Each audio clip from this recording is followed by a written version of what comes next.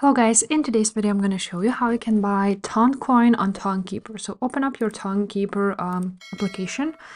After this, as you can see, there's a lot of options to choose from. Here's a Toncoin. Um, you can either send it, receive it, or swap it. But here, as you can see, you cannot buy it.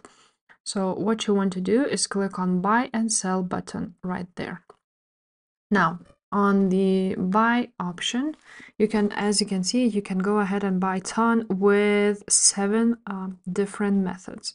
So uh, mercuryo for example instant one click purchase up to 700 uh, for example euros uh, with no kyc using bank card apple pay google pay or sepa. There's also transact where you can go ahead and buy ton with cards or bank transfers instantly so for example, let's choose the first one and open Mercuryo.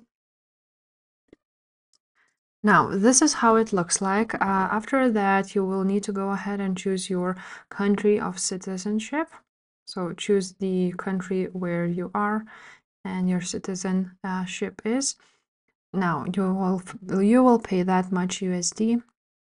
You can also go ahead and select different currency whatever you want uh, and that's how much ton you will get. You can click buy and pay with apple pay google pay visa mastercard or bank uh, transfer. Your ton will be, be here. You will see it here once you buy it. So that's basically it. That's how you buy ton coin on tonkeeper wallet. If this video was helpful make sure to subscribe and i will see you next time. Bye